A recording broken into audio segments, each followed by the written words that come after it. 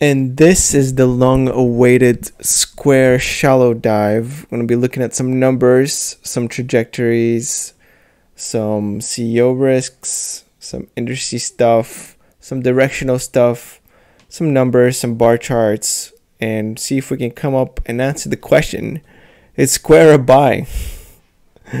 well, this is what the chart looks like from 2016 and when it comes to the price um, obviously experienced a big growth phase here and that's actually detectable in the revenue side of things. The first thing before i look at any companies i like to look at this little chart here this little square which shows the revenue and earnings of the company. It looks like the revenue has been growing quite exponentially. The earnings side not so much but that's kind of irrelevant for a growth company. Um, a quick look at the analysts just to see if there's some red flags I have to worry about. Looks like majority of them are in the buy column. Not that this matters too much when it comes to money or money generating companies. the ones that have serious revenue and earnings. But let's start with the financials. And also, I'm going to compare it to PayPal because you can't have a conversation about Square without mentioning PayPal, right?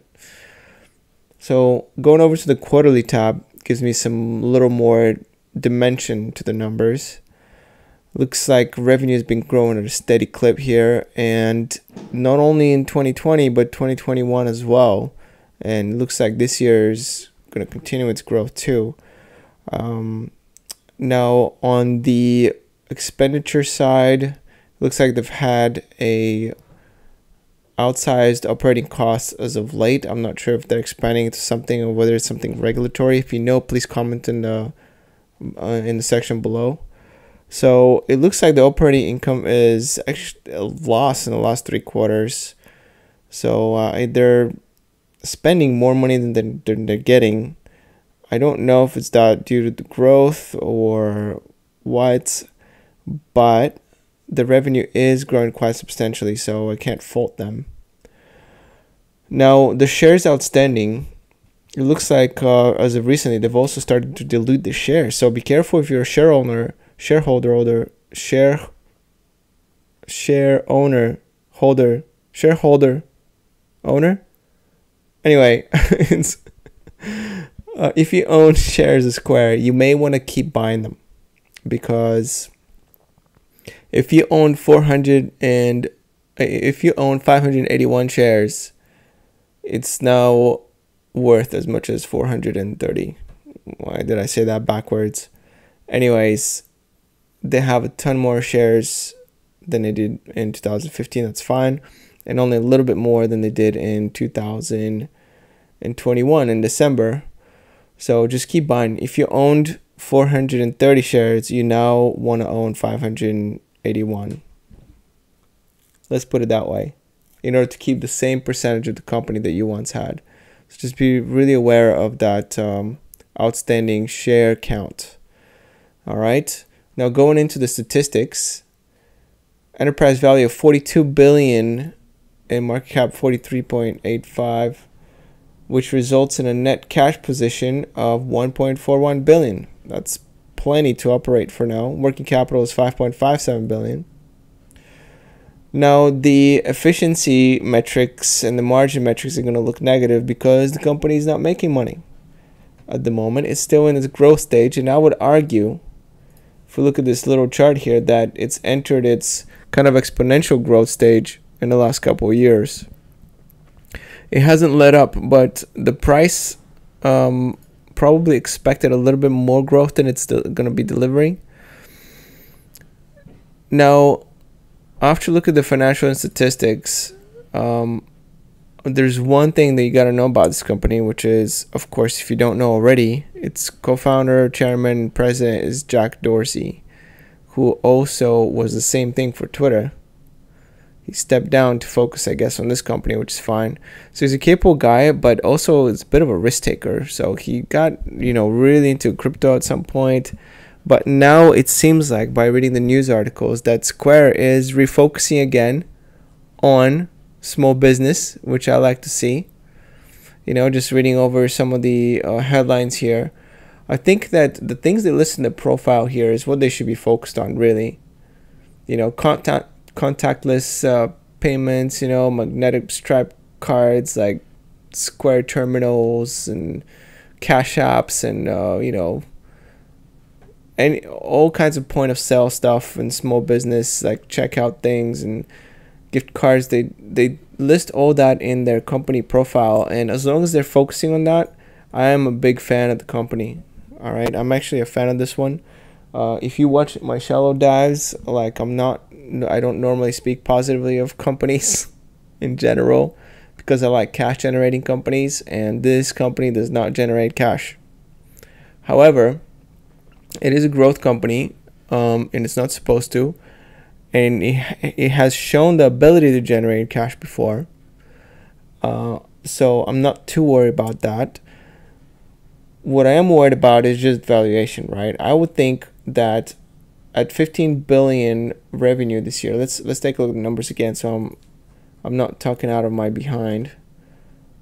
So yeah so 17.66 billion 2021 if they manage somehow to double that or close to double, so maybe like 25 to 30 billion of revenue by the end of this year, 2022, then they would be on a pretty good upward trajectory still with a tiny bit of a slowdown. So it really depends on how that those top line numbers come in for me personally.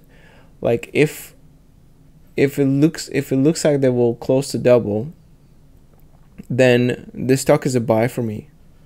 Uh, I'm looking at like an easy double in a couple years from the $74 level. Definitely would not look at the company at 240 or whatever he topped in at, clocked in at, uh, you know, in 2021. It was 275 is no way. Obviously, it's easy to say that in retrospect. People are expecting. I didn't own the stock then, though. I don't own it now either.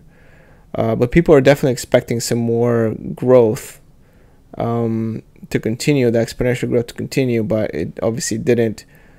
Did I did it deserve this big of a beatdown? Probably. I mean, it, it it's not like the revenue is that huge. Let's take a look at the price to sales ratio here. So price to sales is 2.69. That's about in line. I mean, it's nothing. You know, it's nothing mind blowing. Uh, forward price to sales 2.03. It's fine. And just like PayPal, if we look at the PayPal, let's take a PayPal look, at PayPal statistics. It's kind of like the future of Square. The P ratio of PayPal is still high, so the company is uh, valued well relative to the money that's coming in, and the price sales ratio of PayPal is 4.22. It's actually worse. Um, so if you ask me whether just based on the numbers, I would rather own Square or PayPal, it might actually be Square. Even though I have a leap on PayPal, which is kind of strange considering PayPal is making money and Square is not. The Square is growing, is growing revenue. It's a much more predictable company than Square. Uh, it's the main competitor. That's why I'm looking at it. It's basically like a mirror you know it's like a its cousin or brother or sister um, that competes with it all the time. So net income actually dropped 341 in uh, the last quarter but they're consistently making money so i'm not too worried about that. Um, shares outstanding i think they've actually been buying up shares so a little bit of shares over a long period of time so it's fairly unchanged. So that's a plus um, but it's not a plus if you don't have the money for it. so let's take it some more look at some more statistics here. So we can look at a future like this on Square where it's PE is 55 or around a 50 dollar area. Um, its margins are probably going to look similar too. Gross margins high, but then the profit margin is only 7.79. I can see this type of company dropping profit margins down to like the 5% range even. Um, i think inherently this type of business is very like skimmy right? You just skim a little bit off the top here and there. Like it's not it's not a high margin business so you need a lot of volume. So the future of square really it it's kind of like this. It's going to be a never-ending grind to compete and grab more market share of the transaction volume out there. If they do a well enough job and they, they create some kind of mode for themselves so they can raise their margins, fine. But my biggest fear for the company is that they're going to end up being in this like competitive game forever. And they're never actually going to get to the point where they're making money. I mean, they've been around for some time, not as long as PayPal, but they've been around. I mean, let's take a look at how far this chart goes, at least 2015. I don't know when they IPO'd, but it doesn't matter. Like the point is, the company's been around for a while, and it might get stuck in this war. And I can see that. I can see companies like these. You know, maybe there there'll be even another player that comes out and competes with with payments. I mean, you know, other companies like uh, Facebook and Apple, like these giants, are going into payments, and they're you know even Google is going into payment. Everybody and their mother's going into payments. Keep in mind they're not only competing with PayPal and all these players that I just mentioned, they're also competing with things like Visa and Mastercard, know, all kinds of uh, you know transactions, Zelle, you name it. So you're competing with the best of the best, and I can see them being stuck, and that's the biggest risk. I see them being stuck in this competition of always trying to expand. I do like that they're going into small business because there's not enough attention being paid to small business uh, all these players that I mentioned earlier kind of go from consumer to consumer, or you know, with the exception of maybe Facebook, uh, consumer consumer or um, uh, or what established business, right? Um, but uh, the physical transaction is a little bit neglected. You know, everybody's still doing these like little Verifone scanners and credit card readers and all that. That that thing needs to get updated, right? So uh, I do like the the I like it a lot that they go into that niche, and that would be basically the only the main reason I would invest in the company. Um, I think that it's not crazy overpar- overpriced, but I would probably get into Square if I were to invest in it at a lower price. I may not get it, but the thing is because of the risk of getting stuck in this, you know, competitive landscape forever I think that that risk is not being priced in. You know, what's being priced in right now, even at this lower level, is this revenue number here continuing to accelerate at similar rate, you know, for the next five, ten years or something. Um, so, or at least a few years, and then tapering off. So I think there's just um, you know, I think this they're in a tough business. I like that they're trying to carve themselves a niche, but it's just the risk and and the the difficulty um, is still there, even if they're the best in town, which I don't know if they are or they're not. Um, you know, PayPal it's is going to come after their internet transactions as well, and it'd be brutal. So I think there are better opportunities in the market. Uh, if this drops like if this halves, then yeah, sure, I think it's worth a shot. Like especially buy some long dated leaps or something like that. That would be good. Um, if you are just a believer in the company and you know the industry better than I do or anyone else, then you can probably take a shot. It's not a horrible valuation. Um, like I said, I like the company. It's one of the rare companies I like. Usually I do these company reviews and I actually just crap on the company because you know they've got so many like red flags and things that just don't go their way that it's it, you would have to have a really good informational edge in order to like put someone into work. But this company is actually i think legit and i think it has a chance.